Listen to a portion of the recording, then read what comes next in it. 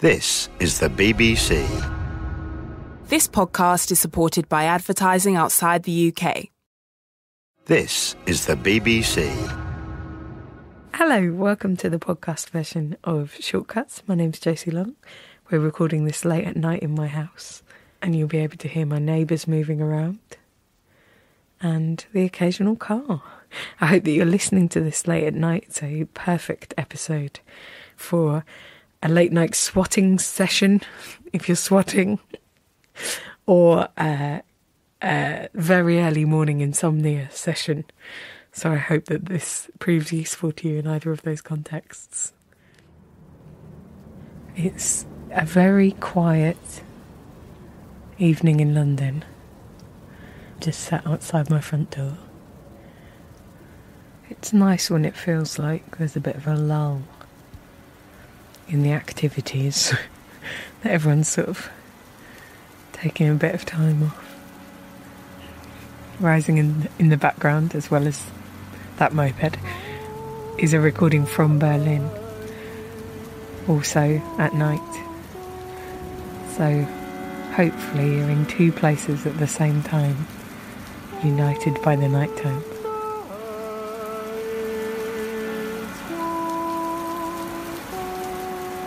That's the voice of Phil Smith singing. He's coming home from a late night gig with his accordion, enjoying an ad hoc alfresco performance.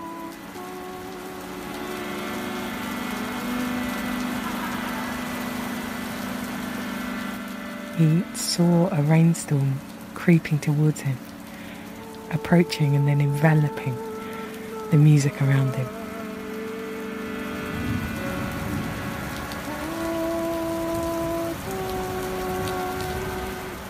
This is Shortcuts.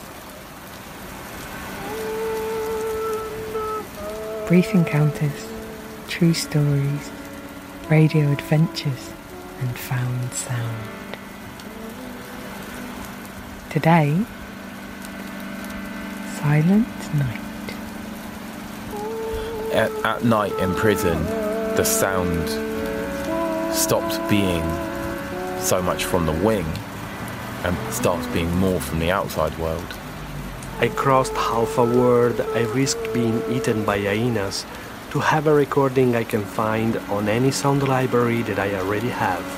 Whether it's cars beeping or a high speed train, I think that outside sounds, they're comforting.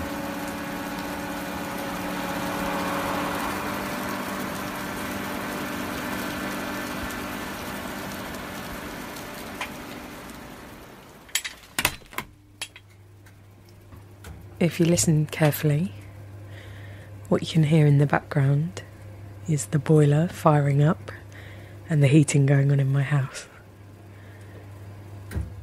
There's an atmospheric shift, which I think is a sound shift as well, which happens when everyone else in the house that you're in has fallen asleep.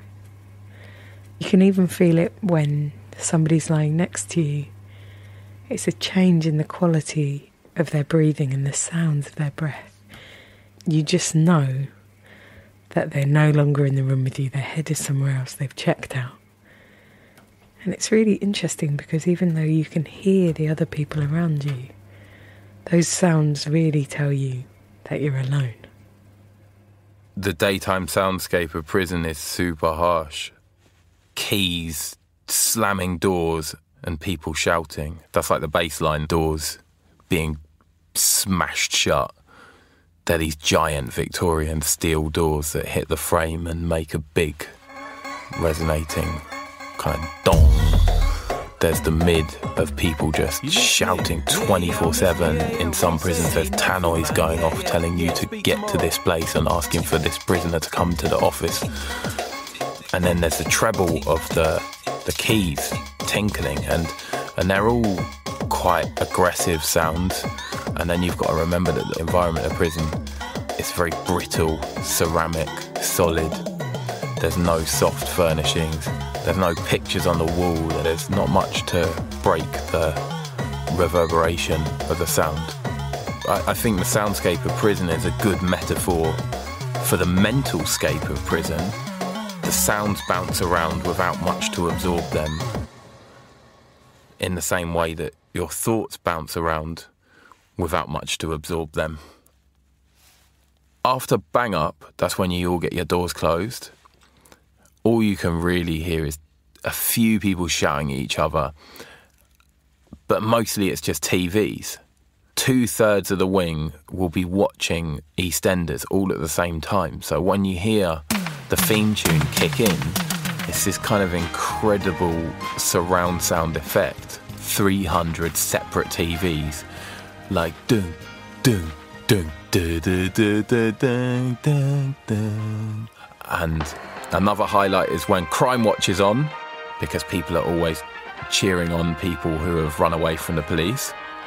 Everyone likes a wily criminal, and especially when the Hatton Garden people are out and about. We're looking for six elderly males, and they'd be like, Go on, Terry! it all goes silent quite quickly, and the sound stops being so much from the wing and potentially, depending on where your prison is located, starts being more from the outside world. I think that outside sounds, they're comforting anything from the outside world that passes over the fence, whether it's cars beeping or a high speed train. I think that it, you know, it can have the dual effect of making you feel kind of reticent and, and sad that you're inside, but also comforting. I do remember waking up at four in the morning in prison and it was so absolutely quiet. It was ceramic. The nothingness rebounds in a weird way off of those bald walls. You're not tired because you haven't really been doing much if you haven't been to the gym. There's not much to put your mind to. There's not much texture, and you don't realize what it's like to do that night upon night upon night upon night. And I mean, I did it for a year, but some people do it for 20. In the morning, the prison officers will walk down the wing, and you hear the sound of the keys coming towards you you can hear the first cells getting unlocked. So the next cell is and then you're like, is it me next? And there's another one. You hear the key enter your door and you're out and immediately, straight off the bat, people are playing pop, Heart FM, grime, some drum and bass going on. It's probably me with my old hip hop tape or whatever, 7.30 in the morning. I gotta say, most people can't handle that level of noise. I think that my prison experience probably made my hunger for chaotic sounds more extreme. While I sleep, I often use these eight hour YouTube videos of fires crackling or soothing water. The one I like the most is the tropical storms. It's got the, the tin roof buckling and the palm trees falling to the ground and the texture, that kind of background noise helps me to be I think I think it helps my sleep patterns. The voice of former prisoner Carl Cattermole. And that was produced by Tom Glasser. Tom and Carl have just made a documentary together featured on National Prison Radio called Sound Inside. As part of it, they spent a night in a notoriously loud wing, and despite all of the sounds, Carl was straight out to sleep like a light. But Tom spent the whole night awake, racked with anxiety.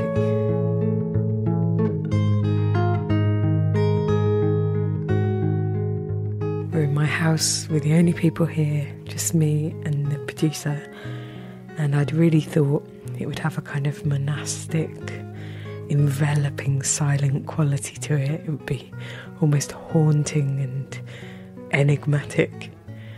And yet, what you can actually hear is the sound of the radiator filling up with water and the fridge going in the background and the boiler coming on every now and again. and the fleeting sounds of my upstairs neighbours listening to the Champions League football match. And what it's really hit home to me is that there is no such thing as a perfect silence. Unfortunately, in our next story, the Italian producer Jonathan Zenti comes to the exact same conclusion, but he has to travel halfway across the world in order to do so. There's a folder on my external backup hard drive with all my favorite recordings I never used. It's a bit weird to keep useless recordings, but I like to go back to them once in a while. They remind me of those pretentious moments in my life when I feel I'm doing something special. Like this file that drives my memory to that time I thought I was going to record the perfect silence. The file's name is Crickets Night Masai Mara. I'm in Kenya in 2015. I've been here for a couple of weeks now to make some interviews about women's health. I told the NGO that has sent me here that to be effective, we need to go to remote areas as far as possible from Nairobi to collect real stories from real people of the countryside. That's how I tricked them into a kind of paid safari. Tonight, me and my guide Bernard are going to sleep at the guest house of a tiny Maasai Christian community on the border that divides Kenya and Tanzania, not far from the Serengeti Park. Around the compound, there's nothing, just a hazel, warm savanna. Reaching this piece of land after 12 hours of rough road, I realized there's no way I'll find myself again in a place like this. As long as I am here, I want to collect every sound I can.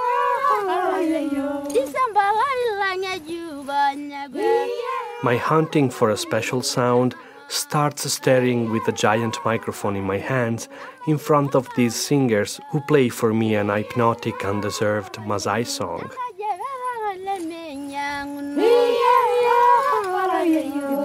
I record every sonority over a storing welcome tea.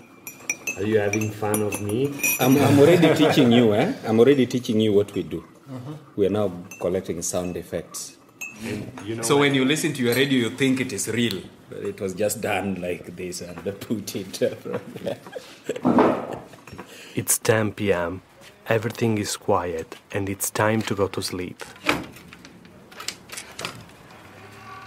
I stop by the kitchen to record all the small sounds the windows, the sink. And then the young housekeeper asks me to go to bed. We check machine and then we go. Yeah. He tells me he has to be the last one around and I shouldn't stray outside the room before the sun rises because during the night many animals come around in search for food, especially hyenas. But I'm not ready to call it a day yet. I still miss that special, unique sound that I'm looking for. So I wait, and when I don't see anyone around, I cover myself with mosquitoes repellent, I turn on the recorder, and I sneak out. But the housekeeper sees my torchlight and he tells me to go back into the room for my safety. Yeah, turn it off, turn it off. Yeah, yeah. I got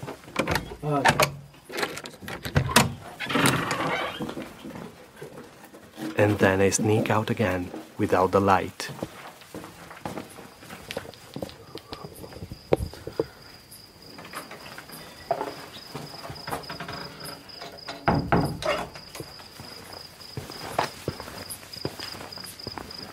I sit on a small step in a deep, deep dark.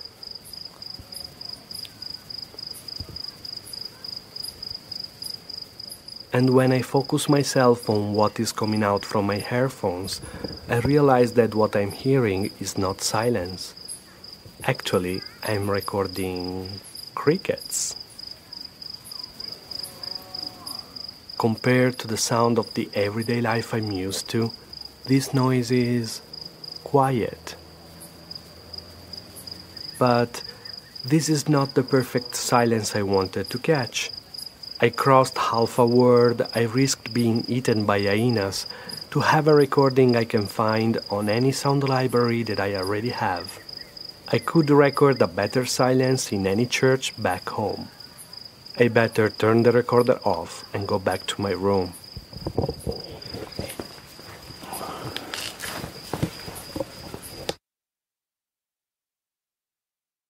I have another pretentious moment to add to my useless recording folder on my backup hard drive.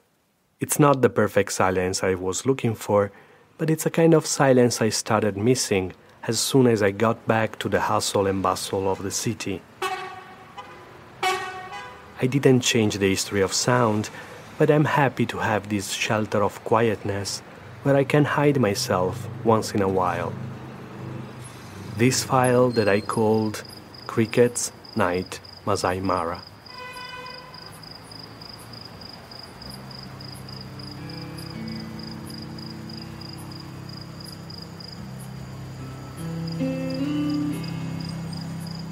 So we just moved into the other room in the flat in the hope that we create a kind of perfect monastic ambience. But unfortunately, whilst we've lost the boiler in the fridge, we've gained the upstairs neighbours listening quite prominently to the football and occasionally expressing strident opinions and stamping around. What I found quite funny about Jonathan's piece is that he had this idealized image that by going into a very stripped back, very natural place, there'd be no sound. And forgetting that, of course, the chaos of nature is always there. It's like the idea that if you go out into the middle of nowhere, you'll be in this perfect pitch dark night. And actually, what you find is you see more stars than you've ever seen in your life. You've got a canopy of bright stars, or the bright moon illuminating the night. So you're lit up far more than if you were on a suburban street with one little broken street lamp. Our last story features the voice of Jordan Scott, who's a poet who also has a stutter. He was researching a connection that he'd observed in his own life, which is the more that he stutters, the more people in power assume that he's lying. His research brought him to studying interrogation transcripts from Guantanamo Bay, in which interrogators also interpreted detainees' stutters as signs of their dishonesty. Jordan decided to apply to tour the prison so he could speak to interrogators and linguists who were working there and learn more. But he knew that it was very difficult to be allowed on one of these tours, so in order to appear less threatening, he applied for the visit as a poet.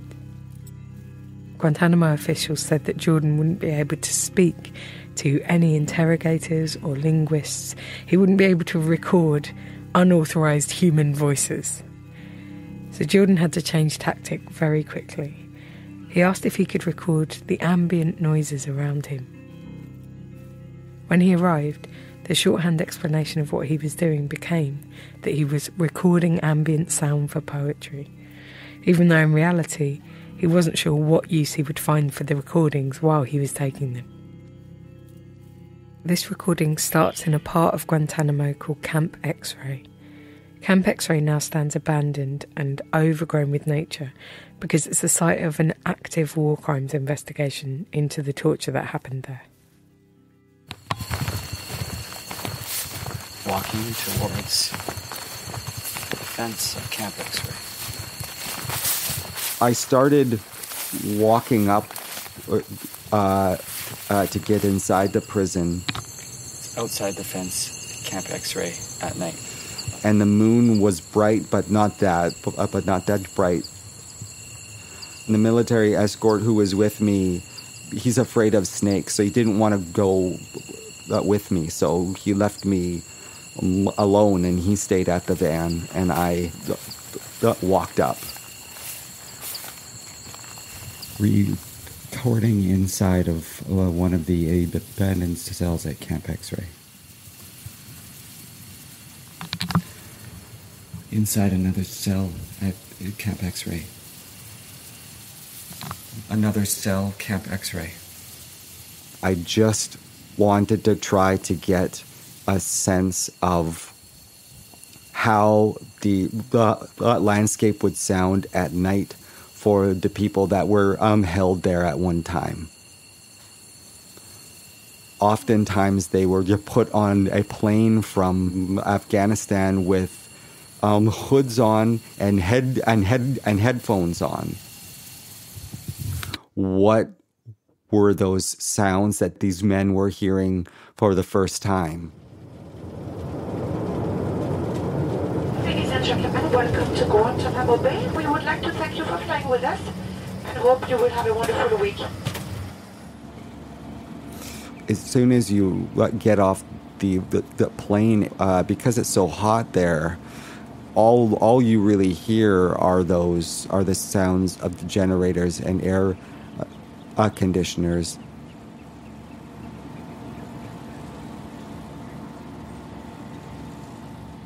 After every day, I, I recorded myself uh, describing uh, that particular day. The whole place is is totally restricted.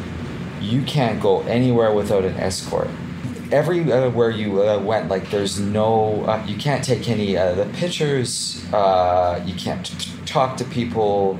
Uh, uh, but this is the thing, they did not know what to do. They did not know what to do with me. I would say, uh, can I go into Camp Iguana? And they would say, absolutely not. And I said, well, I want to just, I want to do ambient sound and they're like, oh, okay, I, I don't see an issue with that, right? That we would have something called um, operational security uh, meetings where our uh, material was looked uh, uh through to make sure that it, it, did not compromise uh, security, is what they called it. Uh, what I started to find is that operational security uh, meetings would go very quickly uh, uh for me. There, there's, there's nothing in the um, um, ambient s- sound uh, uh, from their perspective that would compromise the, the dominant narrative that they want to sell of the of the prison uh, when I was able to speak to the, the, warden himself, I asked him what sounds does he hear in a regular day. If you're asking me if there's a lot of shouting and not at all. I'm just n- not at all. Just just in t- t- terms of ambient sounding. Air conditioners is about air conditioners. Right. Okay. Thank you. Right before I went to Guantanamo Bay, Guantanamo Diary by uh, Muhammad uh, Slahi was uh, released. There's a particular passage in it um, describing uh, one of the ways that he is tortured at Guantanamo. He is placed in in a cold room uh, with with very uh, little clothes on, and this was one of the ways that they were trying to get him uh, to uh, to con- to confess to something that he did not uh, uh, uh, uh, to something that he did not do. Once you understand that that that that machine is actually a vehicle of torture, you can't unhear it.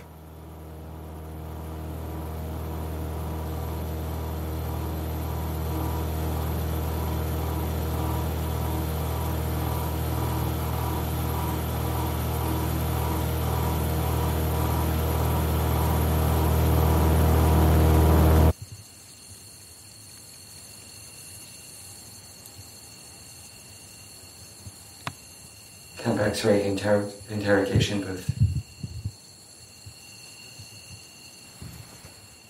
Inside the interrogation shed, you can see the remnants of an air conditioner on the side. Once I stepped out, I knew something was wrong because there was headlights uh, to my right and uh, to my uh, left, uh, racing down uh, the road uh, towards the entrance of a Camp X ray. I, I shouldn't have been there. I was alone, and this particular shed was not part of the tour when we were there in the afternoon. So I know I pushed it somehow. I walked uh, quickly down the hill. All of the military uh, vehicles who had arrived, they all had their uh, lights on in like a semi uh, circle. My uh, military, as you know, the court, he looked really uh, nervous. There was this one guard who was uh, the most intense of the bunch. He walked aggressively towards me to meet me in the middle of the um, headlights. And then uh, the questioning uh, started after that. Why are you here? Do you have permission to be here? What are you doing here? Were you up there alone? Do you know what this means to be here without permission?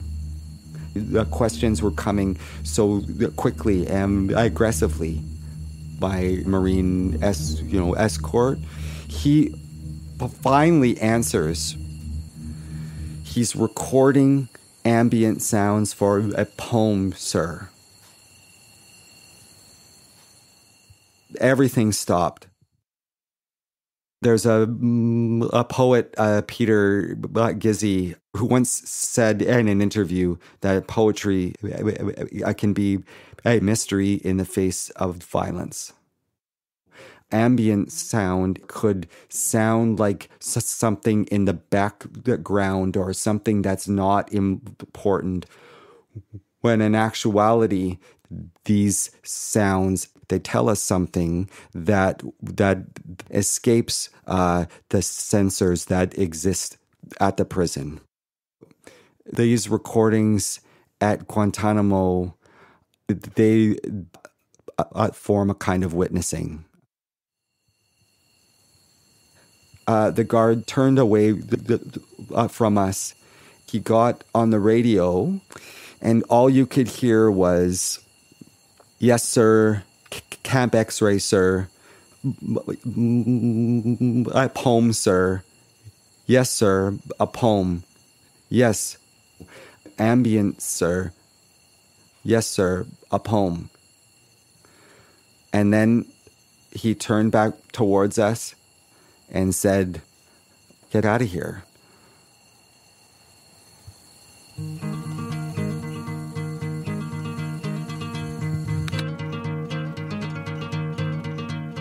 That was made for us by Jess Shane, and it featured the voice of Jordan Scott. You can exist in a place that you convince yourself is silent, but it takes somebody else to hear the truth of everything that's around you.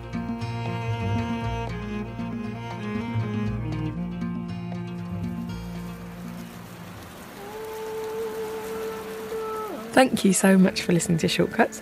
If you enjoyed the show, you can find many more programmes to listen to and download at bbc.co.uk forward slash radio 4. Now I am going to go to sleep. Good night.